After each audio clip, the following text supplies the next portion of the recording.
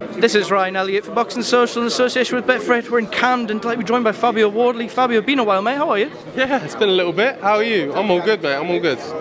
I'm good, thank you for asking. Now let's talk about you back this weekend, Daniel Martz. Um, bit of time out and understand you had a couple injuries dealing with and stuff like that. How are you now? Feeling fresh after a little bit of a break? Yeah, it's nice. It's, it feels it feels really good to go through a camp and not have any kind of little niggles or anything holding you back or just kind of holding on to you. So um, yeah, it's been really good to just have a camp and been able to get through it and get stuck in. In terms of your opponent on Saturday, I had a look. He's been taken out early by some, some top tier heavyweights, what you'd say, upper class heavyweights. But his record does suggest he can punch a bit as well. You got to be wary of that on Saturday.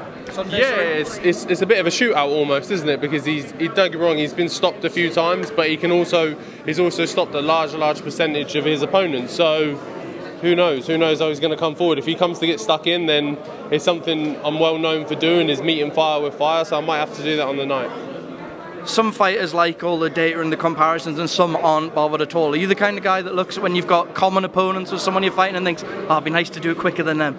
It's not really like to me. I don't feel it really proves anything. Like there's so many variables that go into a single fight that what camp shape was you in? What camp shape were they in? The other person is what point of their career was it in? Was it early? Was it late? What stage? It's just ultimately all I'm focused on is getting the win. Once I get the W, everything else is extra. It doesn't matter we were just talking off camera. I want to go back to it while you were having a little bit of time away from the ring. I saw you doing your commentary stuff just before Christmas. How did it feel swapping the, the gloves for the microphone? You enjoy it? Yeah, it was good. It was good. A little bit of time off, so I found a, a different way to fill my time. And to be fair, it was something I really liked, really enjoyed. Something I'm hoping to do a few more times this year as well, and just kind of sit into that as well. I quite liked it. It was fun. It was fun to be on the other side of the commentary for once, and me making the actual comments. Be honest, much easier than fighting.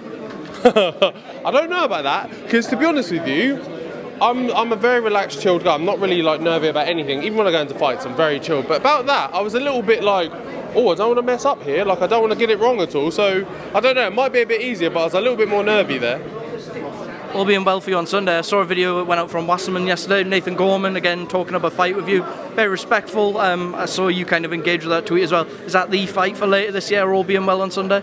Yeah, that's the one, isn't it? That's the that's the kind of next step for me is to get get stuck into something like that. I've I've done the English title now. I've won it. I've defended it. Great. So the next thing for me to do now is is push on to bigger things, and the British title is that. And whether it's against Nathan or against someone else, then no problem. It, it seems obviously Nathan's the most likely person for it, but if he is, if he isn't, it doesn't matter. All I'm hunting for is belts.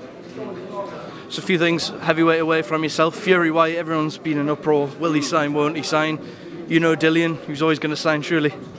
Oh, of course, he was never gonna. He was never gonna miss that opportunity, and there was never a chance in his life he was gonna let that go by. Like, don't get me wrong, there's no rule saying you have to do sign your contract immediately. You can sign it one minute before if you like, and he, he waited not till then, but a bit a bit sooner. But I think it doesn't that doesn't matter at all. All the things that matters now is the fight is signed, and the the coming weeks of the of the presser and the build up and stuff is going to be good.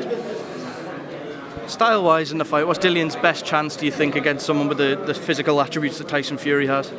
Um, I think Tyson Fury in his fights always he gets his own way a lot of the time. He's able to implement his kind of the way he wants the fight to go, his style, whatever it be. Um, so I think Dill's chance of that is to take it away from him, and he's the right person to do that as well. He's the right person to make it. Fury is, likes to box pretty. He likes to box and move and keep on his toes and keep that movement going. Where Dill needs to close that gap, keep close to him, and just rip them body shots in, and, and they'll pay dividends later down the line.